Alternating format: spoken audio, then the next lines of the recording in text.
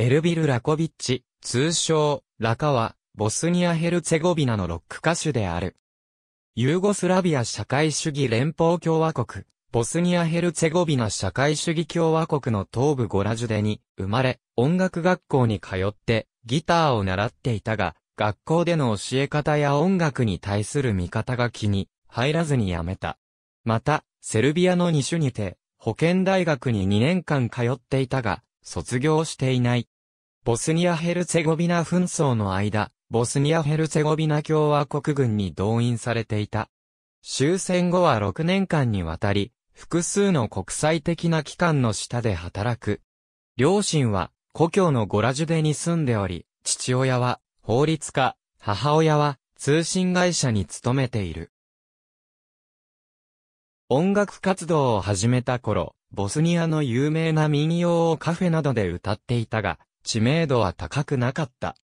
1998年に最初の楽曲、 Malo sam se razočar'o を録音して大きな成功を収め、それ以降芸能界での活動を本格的に始めた。以降、 Vještica、 Mor'o、 Piškila など多くの楽曲をリリースし、ボスニアでの人気を高めていった。2003年、楽曲、ジャサム・モーアオが、ボスニアのダボリン音楽賞の年間最優秀、ロック曲を受賞した。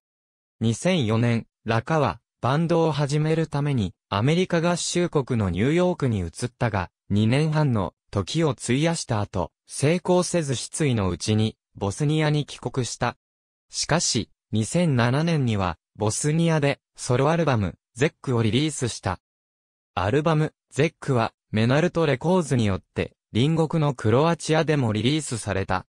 ラカは、14歳年下の妹ミレナと共に、2008年にベオグラードで行われたユーロビジョンソングコンテストの2008年大会にボスニア・ヘルツェゴビナ代表として出場し、ポクサジを歌い、準決勝を通過し、決勝10位となった。また、同2009年大会では、ボスニア・ヘルツェゴビナの視聴者投票の結果を、モスクワの会場に伝えるスポークスパーソンを務めた。ありがとうございます。